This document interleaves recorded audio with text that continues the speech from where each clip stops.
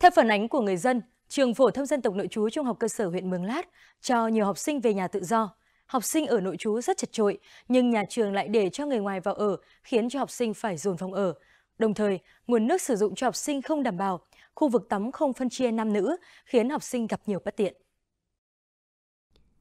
Đại diện trường phổ thông dân tộc nội trú trung học cơ sở huyện Mường Lát xác nhận do nguyện vọng của một số phụ huynh và học sinh có nhà gần trường, căn cứ vào đơn của phụ huynh xin không ở nội trú và cam kết thực hiện các quy định của nhà trường, nên từ đầu năm học đến tháng 2 năm 2024, có 50 học sinh không ở nội trú tại trường mà chỉ nhận học bổng và về ăn ở tại gia đình.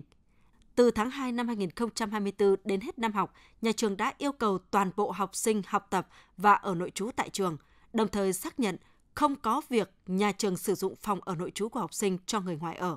Sau khi có phản ánh về những bất cập tại khu vực tắm, nhà trường đã cho lắp biển quy định phòng tắm nam, phòng tắm nữ để học sinh thuận tiện hơn trong sử dụng.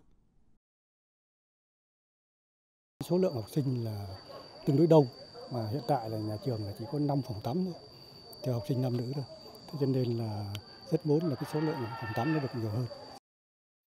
Ngày 22 tháng 5 năm 2024, Ủy ban nhân dân tỉnh đã có văn bản yêu cầu Ủy ban nhân dân huyện Mường Lát chủ trì phối hợp với các sở ngành, đơn vị liên quan khẩn trương kiểm tra, xác minh, làm rõ các thông tin phản ánh, chủ động giải quyết theo thẩm quyền hoặc báo cáo cấp các thẩm quyền giải quyết xử lý. Hiện nay, Ủy ban nhân dân huyện Mường Lát đã thành lập đoàn thanh tra và đang tích cực xác minh, làm rõ những vấn đề trên.